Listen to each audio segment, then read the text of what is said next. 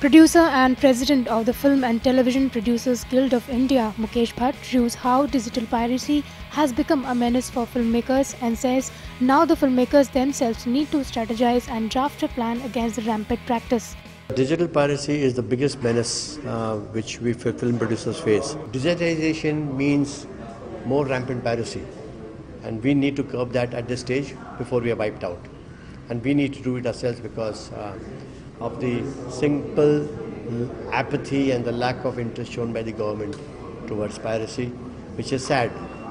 So we have nobody but ourselves to wake up and try to save our own skin. Meanwhile, the producer also reveals the kind of losses he suffered with his latest production, Aashiqui 2, that was a blockbuster and entered the rupees 100 crore club. Film like Aashiqui, which I produced lately, more than 40% uh, of my revenue is lost through internet piracy.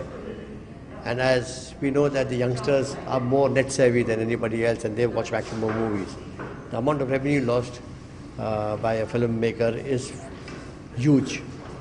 And it's uh, killing. You know, if, when I leave my house and I go to work, I feel I'm not working for myself, but I'm working for a pirate. And that breaks my heart.